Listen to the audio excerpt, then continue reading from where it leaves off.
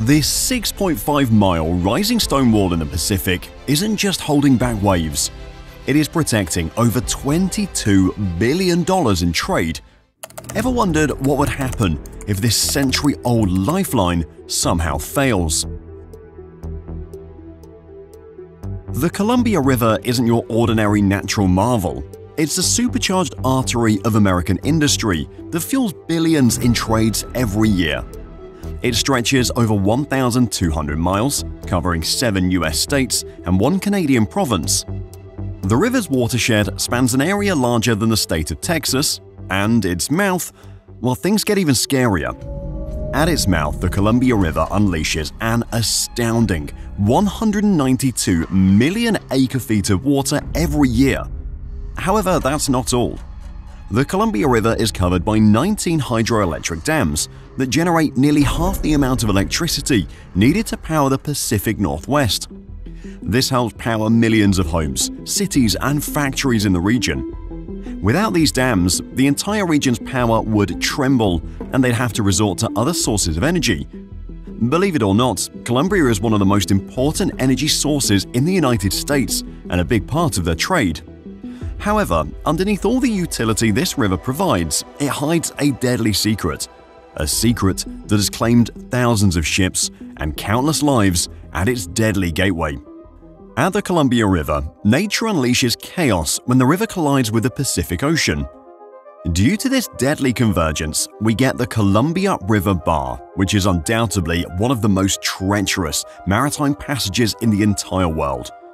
The passage destroyed thousands of ships and has taken hundreds of lives because of the gauntlet formation caused by the crushing cross currents, shifting sandbars, and rogue waves. For centuries, even the most experienced sailors and maritime experts have feared this passage. Even though the passage is so dangerous, it's still a key trade route. Locals can see the shipwrecks at the shore indicating the river's wrath. Due to these deadly conditions, it was given the title the Graveyard of the Pacific, as every ship that attempted to cross it took a huge gamble. However, by the mid-1800s, there was finally an answer to this passage. Sinking under the pressure of rising death tolls and trade disruption, the US government had to act quickly. In 1884, they finally greenlit a solution which was as bold as the river itself – a massive jetty system if you're not familiar with a jetty, it's basically a man-made structure that protrudes from land out into water and serves as a breakwater, walkway, or both. In 1885, the US Army Corps of Engineers started constructing the South Jetty at the ocean. This colossal stone structure stretches 4.5 miles long and 30 feet above the waves into the Pacific. Its mission was clear – direct the river's flow wash away sediment, and carve a stable channel for the ships to rest. The project took over 10 years to construct and was finally inaugurated in 1895. Since its operation, ships that once used to sink in the passage can now pass through it safely, flourishing trade in the region. Following the success of the South Jetty, the US government decided to further secure other sections of the ocean. Even though the jetty controlled the ocean's wrath considerably, it wasn't enough to completely neutralize it. Seeing this, the Army Corps launched Phase 2 of the jetty system, the North Jetty. This structure reached out from the Washington coast into the river's mouth to tame its flow from an even stronger force. It created a deeper and straighter channel that allowed easier and safer navigation. The sediment accumulation didn't just vanish, it was just simply moved to make way for the jetty, this constant reshaping forced the engineers to add a third piece to the jetty system, called the Jetty A. Completed in 1939, Jetty A was quite the enforcer, which acted as the last piece of the puzzle. It shielded the channel, controlled the currents, and ensured that the other jetties did their job smoothly. Together, this trinity made one of the most effective coastal engineering systems in not just America, but also the world. The Columbia River jetties were undoubtedly an engineering marvel, however it certainly couldn't compete with nature.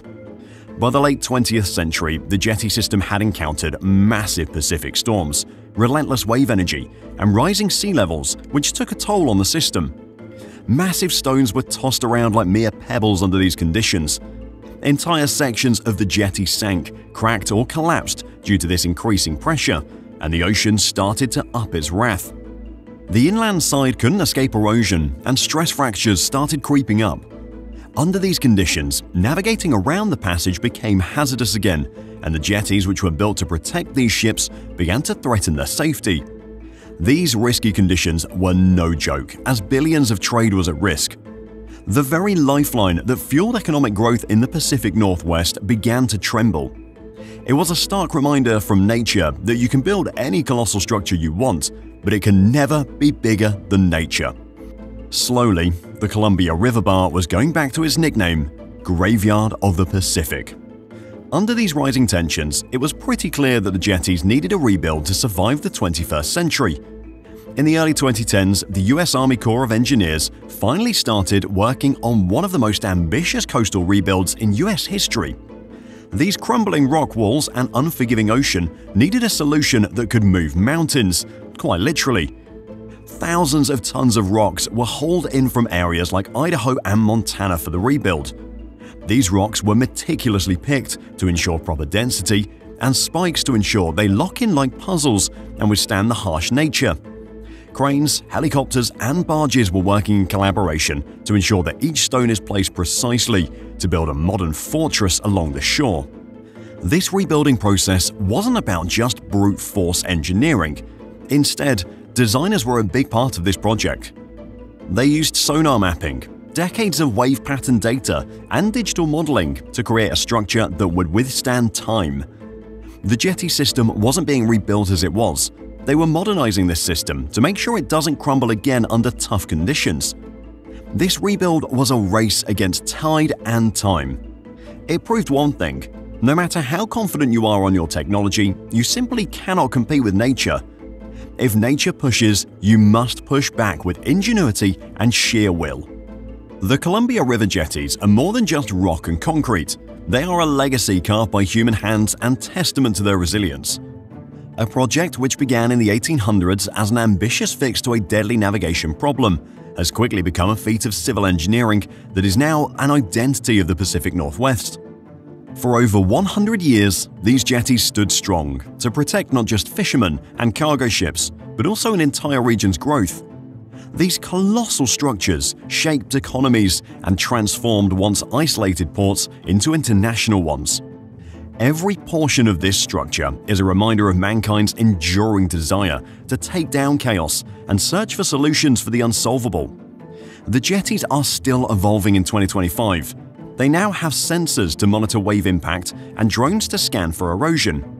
The consistent efforts being made by engineers and experts to ensure the longevity of these structures the team is working toward improving these structures by using AI, satellite data, and hydrodynamic modeling to make sure the structure remains sturdy and secure for the future. Building megastructures like the Columbia River jetties is no easy task. Apart from design, construction is another major issue. To ensure several cargo and passenger vessels move through the jetties easily, they need to have a strong base, and for that they used basalt, Basalt is an organic rock known for its distinctive durability, weight, and erosion resistance.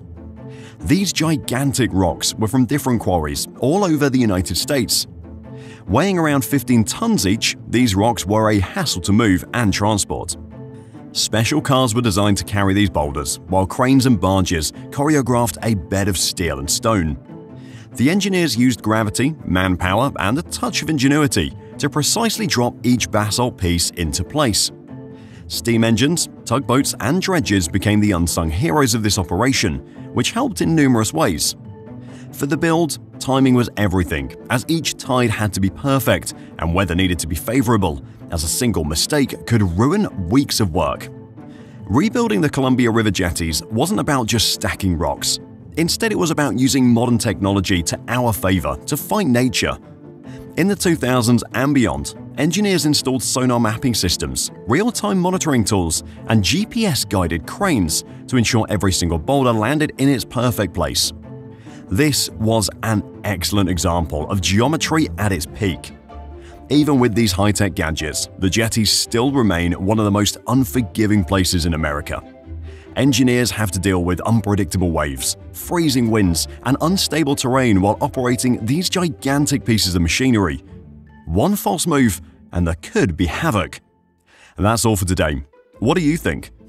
With all these high-tech gadgets and upgrades, can the Columbia River jetties survive the course of time?